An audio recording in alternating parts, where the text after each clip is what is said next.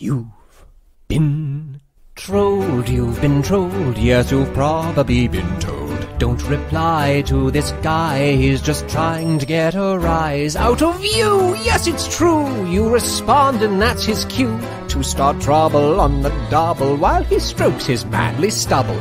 You've been trolled, you've been trolled. You should probably just fold when the only winning move is not to play.